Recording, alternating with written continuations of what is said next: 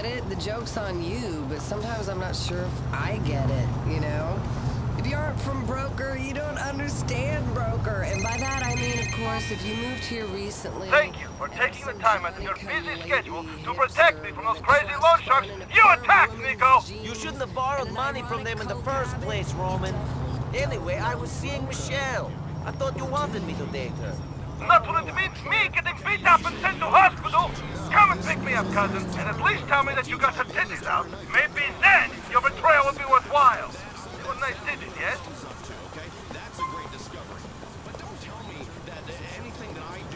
You're an animal, Roman. Nothing can stop you being horny. I'll see you soon.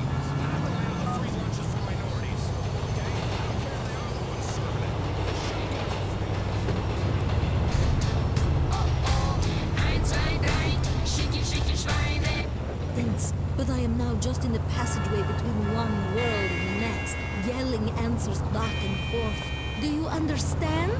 Probably not. Some of you will hear good news. Some of you will hear bad news. All of you will hear the truth. So the guys at work think it's ridiculous because I listen to your show. We'll be installing sheetrock and they'll be like, turn that dingy bitch off. The guys, there's three of them, isn't there? No, there's about 11 of them. I. To ancient Egyptians, the number three was the number 11. In the same way as the French word for spirit also means avocado. Did you know that? No, I don't quite understand. I really have never been to Egypt or France. Please, don't bring science into it. Doubters doubt everything. Personally, I'd rather know.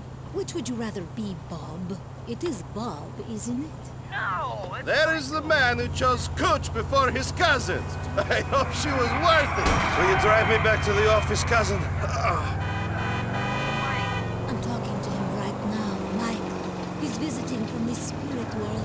He was a saint. He's telling me he's very proud of you. He's saying you're... How was she, cousin?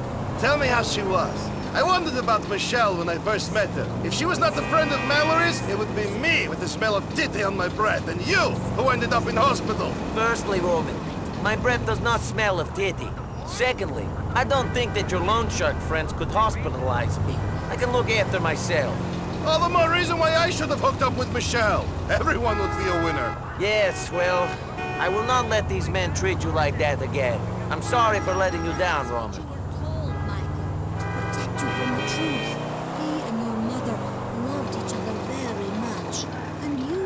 Result of a very unique family union and bond that people don't talk about.